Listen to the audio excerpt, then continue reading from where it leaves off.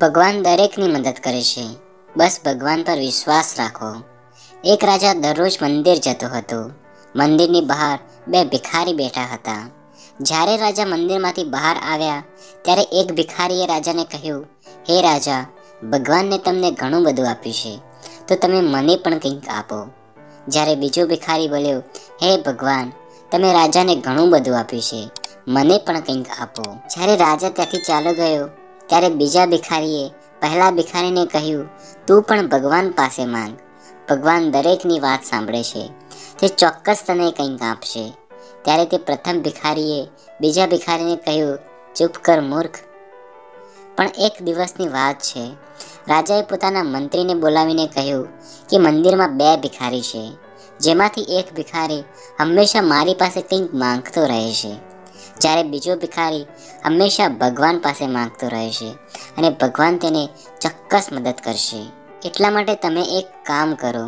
એક મોટા વાસણમાં ખીર ભરો અને તેમાં સોનાના સિક્કા નાખો અને તે એ ભિખારીને આપો જે દરરોજ મારી પાસેથી કંઈક માગતો રહે છે. મંત્રીએ રાજાને કહ્યું, તે પ્રમાણે જ કર્યું. જ્યારે પેલા ભિખારીને મંત્રીએ મોટા વાસણમાં ખીર અને સોનાના સિક્કા ભરીને આપ્યા ત્યારે પેલા ભિખારીએ ખીર ખાતી વખતે બીજા ભિખારીને ચીડાવતા કહ્યું કે આયો મોટો ભગવાન પાસે માંગવા વાળો. જો રાજા જોડે માંગવાથી મળ્યું નહીં અને જ્યારે જમતી વખતે તેનું પેટ ભરાઈ ગયું, ત્યારે તેને બાકીની ખીર બીજા ભિખારીને આપીને કહ્યું, લે તું પણ ખાઈ લે મૂર્ખ. એમ કહીને તે વાસણ પેલા બીજા ભિખારીને આપી દીધું. બીજા દિવસે જ્યારે રાજા મંદિરમાં આવ્યા, ત્યારે તેમણે જોયું કે જે ભિખારીને ખીરના વાસણમાં સોનાના સિક્કાઓ આપ્યા હતા.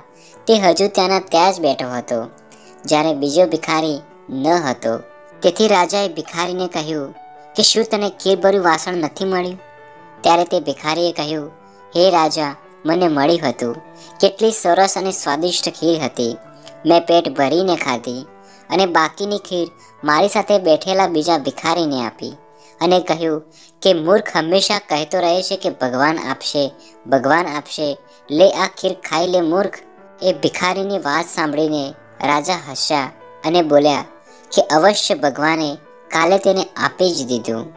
તેથી જ મિત્રો, જો તમારે અપેક્ષા રાખવી હોય તો ભગવાન પાસેથી અપેક્ષા રાખો. તમારી જાત પાસેથી અપેક્ષા રાખો. જો તમારે કંઈક માંગવું જ હોય તો ભગવાન પાસે માંગો. ભગવાન દરેકનું સાંભળે છે. બસ આપણે ભગવાનમાં વિશ્વાસ રાખવો જોઈએ.